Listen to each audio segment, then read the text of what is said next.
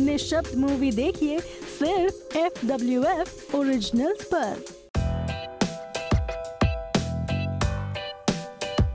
रजनीकांत की most awaited film काला का ट्रेलर रिलीज़ हो गया है। फ़िल्म का ट्रेलर तमिल, तेलुगु और हिंदी में रिलीज़ किया गया है। फ़िल्म के ट्रेलर में रजनीकांत अपने अंदाज में नज़र आ रहे हैं। सात जून को रिलीज़ हो रही इस फ़िल्म में रजनीकांत इस बार नाना पाटेकर से भिड़ते नज़र आएँगे।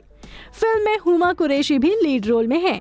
फ़िल्म के ट्रेलर को देखकर लग रहा है कि नाना फ़िल्म में एक राजनेता की भूमिका निभाएँगे, जबकि रजनीकांत गरीबों के मसीहा वाले किरदार में नज़र आ रहे हैं। काला में रजनीकांत एक गैंगस्टर के किरदार में है।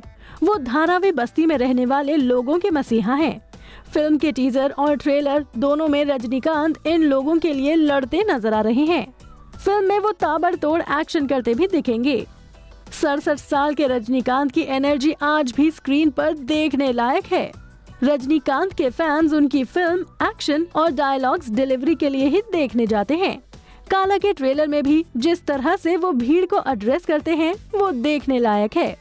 अभी वीडियो को लाइक करें शेयर करें और अभी चैनल को सब्सक्राइब करें। इसी तरह की चटपटी न्यूज़ देखने के लिए। फिर मिलेंगे मसालेदार खबरों के साथ। Bye bye